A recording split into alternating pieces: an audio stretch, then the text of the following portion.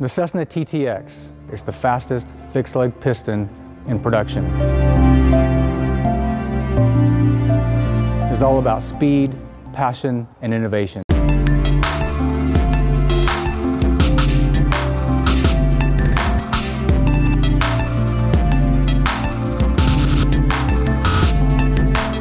The G2000 system is the most sophisticated avionics suite in general aviation. Could you tell us about the uh, Garmin ESP system? And the ESP stands for Electronic Stability Protection.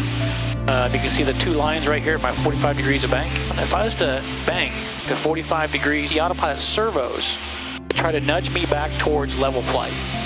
If I continue to hold it past those lines, the autopilot will automatically kick on and level the airplane and roll in whatever altitude you were at the moment it kicked on.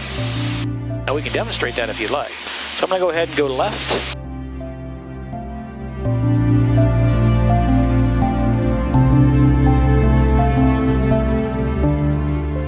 See that right there, ESP just kicked in, is trying to right the airplane for me. I'm going to hold it there.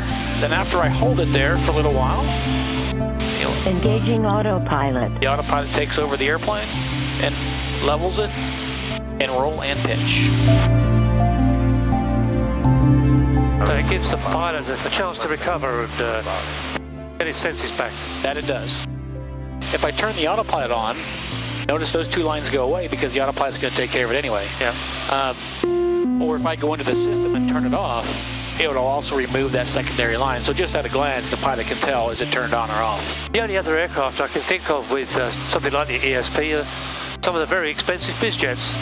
Uh, yeah, now Cirrus does have a button, the blue button or the level button, that uses the same type te type technology, but it's there's something required for the pilot for that to happen. Yeah. You have to press the level button. This here is all automatic. Yeah.